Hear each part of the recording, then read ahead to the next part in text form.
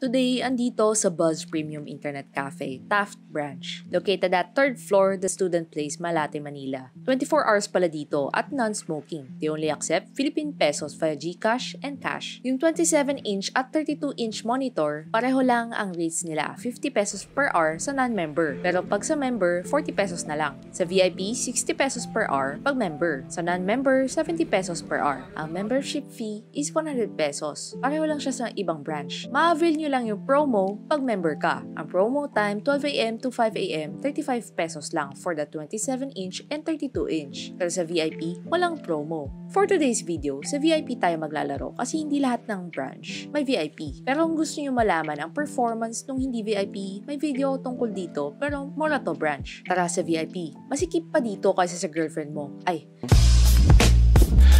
I'm so sorry, children. Sa upuan, bulky pero super comfy talaga. Yung monitor, BenQ XL2536B, 1ms, 144Hz, 24.5-inch, 1080p TN panel. Sa keyboard, mechanical MX Blue. Yung mouse, Logitech G402. Sa headset, loud and clear sana. Kaso hindi nga lang pantay yung sound.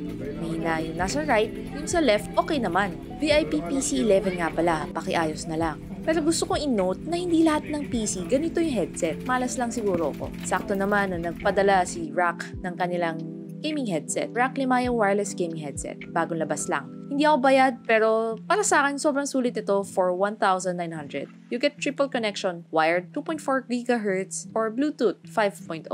Tapos maganda yung audio lalo sa price point niya. O nga pala, announce ko na lang rin yung winner ng keyboard at the end of this video. Kaya stay tuned. Sa speed test, 19 Mbps sa download. Sa upload, 4.8.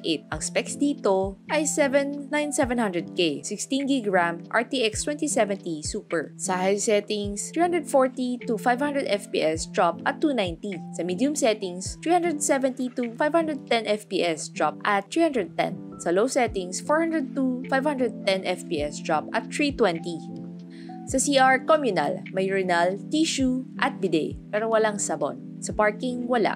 Pero you can park at the University Mall, pay parking siya sa gilid ng KFC. Sa giveaway, nagtanong ako sa mga may kaduo kung ano ang love story nila. Congratulations, Unilane Villaverde Ngoho. Nanalo ka ng rack keyboard and mouse combo. Good luck rin sa planning ng wedding. Okay yun lang guys, follow for more.